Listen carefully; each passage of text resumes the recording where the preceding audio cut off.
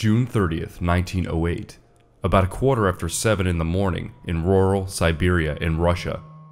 The sky was suddenly ripped open by a bluish white fireball as bright as the sun screaming by overhead. Without warning, the fiery orb detonated into a massive explosion.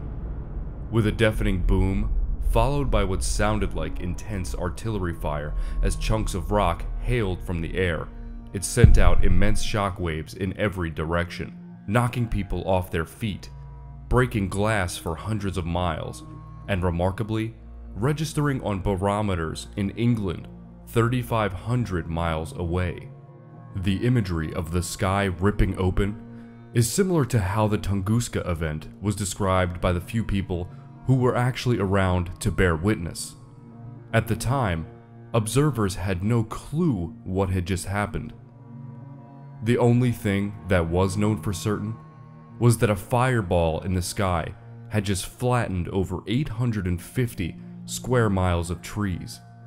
Fascinatingly, the trees near the epicenter of the explosion were still standing, though they were completely stripped of their bark and their branches.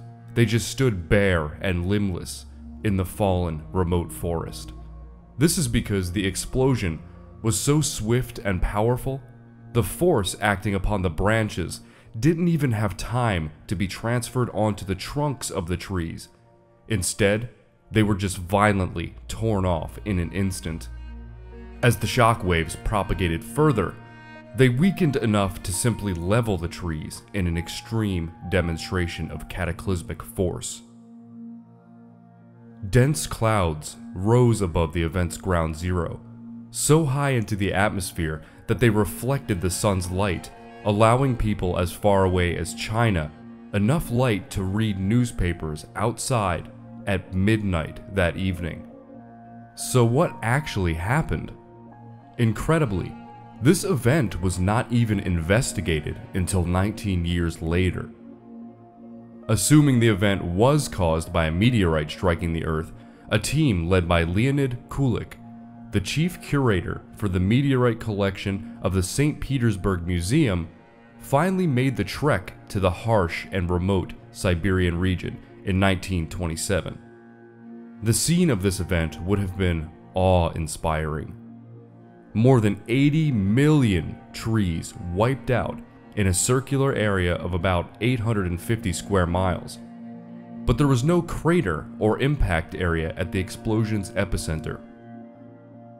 When questioned, the locals of the area were hesitant to share their first-hand experiences. They long believed this traumatizing event was the result of a curse put on the area by the god Ogdi. Eventually, however, Kulik was successful in getting them to provide their accounts. In addition to clearing out a massive area of forest, the blast ravaged animal populations in the area, including killing hundreds of reindeer. Fortunately, since it was such a sparsely populated area, there was not a high human death toll. Officially, no deaths have been confirmed, but up to three are thought to be possible. One eyewitness, who was violently thrown from his chair when the explosion occurred, is quoted as saying, The whole northern part of the sky appeared covered with fire. At that moment, there was a bang in the sky and a mighty crash. The crash was followed by a noise like stones falling from the sky or guns firing. The earth trembled. The object that covered the Siberian sky with fire that morning was, in fact, a meteorite. A 220 million pound rocky meteorite the size of a 25 story building barreling into the Earth's atmosphere at an insane estimated speed of about 60,000 miles per hour. While the details of the event are not known for certain, the most prominent theory is that this celestial body didn't actually strike the ground, but instead exploded when it came into contact with the thicker part of the Earth's lower atmosphere, about 3 to 6 miles above the surface, where it would have superheated the surrounding air to roughly 44,500 degrees Fahrenheit before culminating in the massive explosion. This type of phenomenon is known as a meteor airburst. At a staggering 15 megatons, the magnitude of this explosion was absolutely tremendous.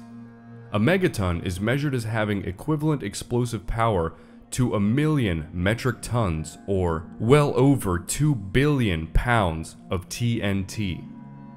To put the magnitude of this explosion into perspective, it was a thousand times more powerful than the explosion caused by the atomic bomb that was dropped on Hiroshima in 1945 that tragically took the lives of more than 65,000 people 37 years after the Tunguska event. So, imagine if the Tunguska event occurred over somewhere like London, New York City, Paris, Tokyo, or Moscow. The loss of human life would have been terrible.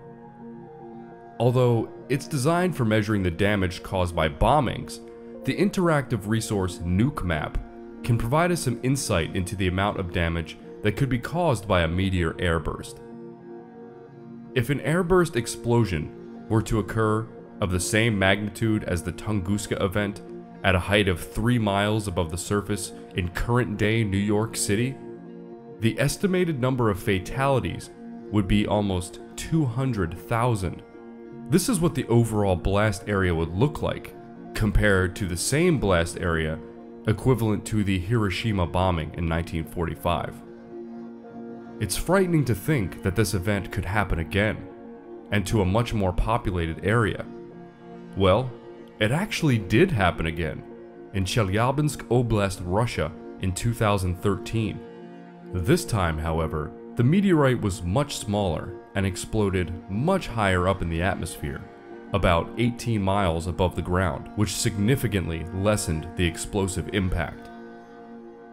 This was incredibly fortunate because the magnitude of the blast from this meteor was still about 500 kilotons, about 33 times that of the Hiroshima atomic bomb. Even still, almost 1,500 people were injured, and more than 7,000 buildings were damaged. None died. If the event in 2013 taught us one thing, it's that despite all of our technological advancements over the past 100 years, we're still realistically helpless in such an event. The Chelyabinsk meteor was able to enter the Earth's atmosphere without detection due to its path relative to the sun in the background. It took people by complete surprise, just as the Tunguska meteor had more than 100 years prior. Lucky for all of us, these events are simply very rare. If you enjoyed this video, please give it a thumbs up and subscribe to my channel to see more content like this, as well as other topics related to real life horror. You can hit the bell icon to get notifications whenever I release a new video. Thanks for watching. Until next time.